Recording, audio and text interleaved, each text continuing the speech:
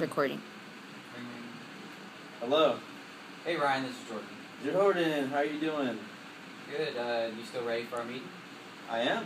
I have about 15 minutes. It shouldn't take more than that. Okay. Um, I want to start off, you know, thanking you for your time. I know you are busy, and I really appreciate you taking the time to sit with me hmm and just kind of talk about, you know, you. Um, so I remember you telling me at the graduation ceremony that, uh, you know, you moved around. a lot. You kind of gave me a little bit of an idea Yeah. of your career, and what I want to mainly get out of this phone call is, you know, more of an in-depth look at your career, because I am interested in your field of work. So I want to get Sounds an, great. I want to get an in-depth, you know, look at your career, kind of things you've done well, things you wish you would have done, things you still struggle with now, you know, Okay. things about me. Okay. Well, Jordan, um, I started out as an intern for Dignity Memorial. Um, I never really thought this would be an industry that I would be working in. Um, you know, I, growing up, I always thought, you know, I'd be a big old sports agent. But, you know, I feel like, you know, when I did my internship over the summer, right before I graduated college, it was very, you know, I don't want to be cheesy, but it was amazing. I liked the people that I worked with, and um, I liked, you know, the organization. It was a really good company culture that we have here, and you know, I, I just I kept with it. You know, you mentioned struggles, and yeah, I've had some struggles, but I mean, I wouldn't, I would have no other part in any other organization than this one.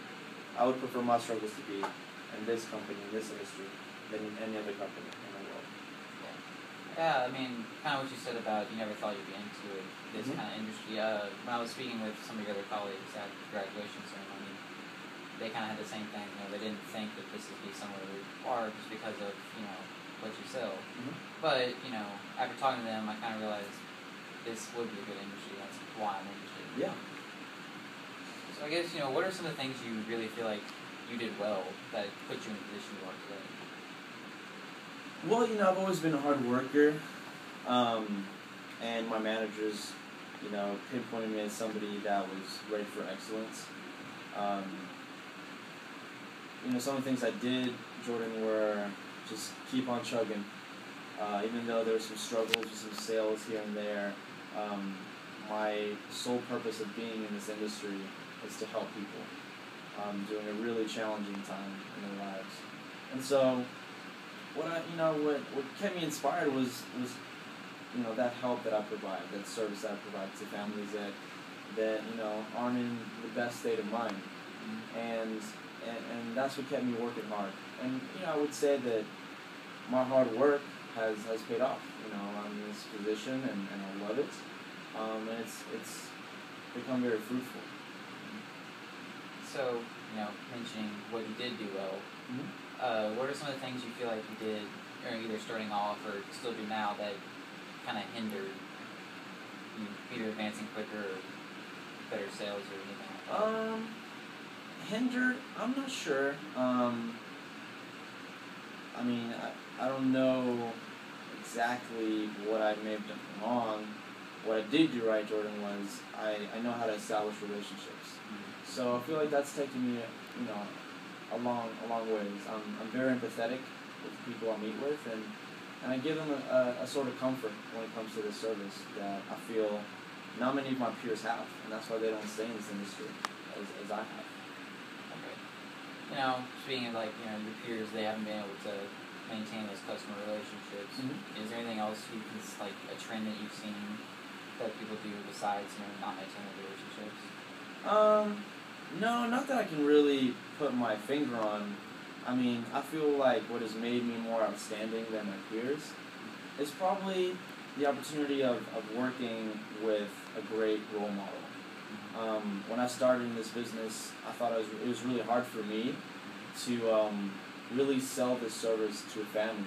I wasn't very comfortable with it, and, and I felt like it was such a sad way to make business. Um, however, um, you know, my manager at the time saw great potential in me, and he gave me, you know, a few extra attention um, to help me out. And because of him, I mean, I'm so successful today. I, I saw that instead of seeing it as such a sad and morbid industry where I'd be profiting on people being upset, I saw it in a way where I'd be helping people and helping them make conscious, you know, choices on, on a good plan for them. Yeah, most definitely. I mean, that's kind of the way I look at y'all's company. But uh, you mentioned, you know, being uncomfortable at first selling. That's probably one of the things I struggle with the most is, you know, kind of getting out of my comfort zone Mm-hmm. and really putting myself out there because I've never really been able to do that at this point in my life. Yeah. So that's something I know I need to work on. But it is good to hear that other people do have that same problem. Yeah, well, you know, I feel there's always room. There's always room for improvement. So if you're willing, if you're willing to work for it, then I can definitely see some improvement as you go. definitely. And you know, you mentioned you know you had a role model Mhm. kind of as you were coming out. I'm looking, as I mentioned in our previous phone call, I'm looking for someone who can really help guide me along the way and help me break that uncomfort like comfort zone. Okay. And I was, you know, after this phone call, I really feel sold that you know you're the guy I want help, you know, mentor me along in my Okay. Wow. Well, that's that's pretty flattering. Um, why why do you think I'm the guy for you? I mean, you've, you know, you've been with one company. It wasn't necessarily the, I guess, sexy pick, you could say the least. Yeah. So I agree with that. you you do got out of your comfort zone, Yeah. and it seems like you've done a pretty good job of doing that. And I need to get out of my comfort zone if I want to be successful. So modeling myself after someone who's already done what I want to do, I feel like can only help me. Okay. Um, I agree with that. Josh was a great mentor for me. Um, and he really helped me, you know, be, become successful. So, I mean, helping you out would be, you know, great. Um, I, I would really want to do that. Um, so, what is it that you need? I just send you tips on questions that you have, or how does Um, that work? Are you sending an email, or I mean, that is definitely part of it, and I would like to meet on a fairly regular basis, depending on your schedule, but we can work that out okay, at a later time. Um, as far as you're familiar with the program, obviously, but as far as the program goes, mm-hmm. we are asked for a sponsorship from our mentor. oh, okay, Now, when I say sponsorship, I again I don't like bringing it up because I want don't want you to write it the wrong idea. okay. I'm here for this reason, but it is a two hundred fifty dollars sponsorship. Oh, and it goes towards, okay. but that does go towards our jackets. Okay. Is that that jacket you're wearing right, right there? Um, how can you see me on the phone? Okay, is it the jacket that I saw people wearing at GNN? Yeah, it's the one with the patch, and it's you know from Brooks Brothers, so it's a high quality jacket. Yeah, it looked pretty nice. Yeah, and it's not uh, it's not like I'm getting the money. It's Mhm. going you know towards the program to help pay for the jacket. Okay. Um, that's kind of steep though, isn't it? Don't you think? It's I mean two Yeah. fifty. It is kind of steep, but it's look at it as an investment on your part. Mm-hmm.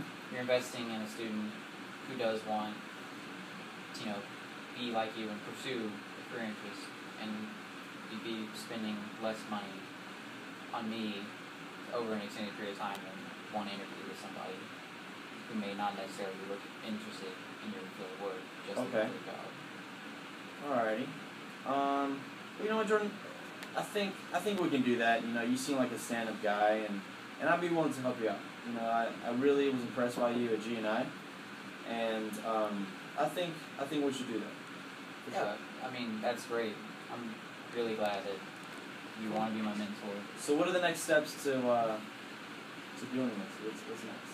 Uh, as far as you know, payment goes, uh, I just have to go through Salesforce and I'll lock send you the link for payment.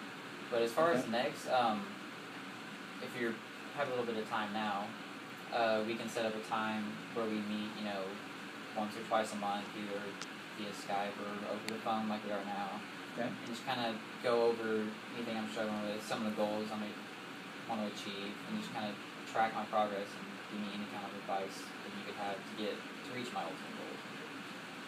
All right. Um, well, yeah. I'm. You know, like I said on the phone, I'm a very flexible guy. Let's meet. Um, let's let's let's schedule a phone call. You know, next week. Does that sound good? Yeah, uh, what day works for you? Uh, Tuesday would be perfect. I'm not that busy. Uh, Tuesday morning, afternoon. What's good for you? Uh, let's do it crack of dawn. Let's do eight in the morning. All right. All right. Sounds good. All right, Jordan. Thank you so much. right. Hey, again, thanks a lot for your time and just being a mentor. I'm really excited to Oh, of course. get to know you a little bit better. Yeah, Jordan. Thank you. All right. All right. Have a good one. All right, man. That was good.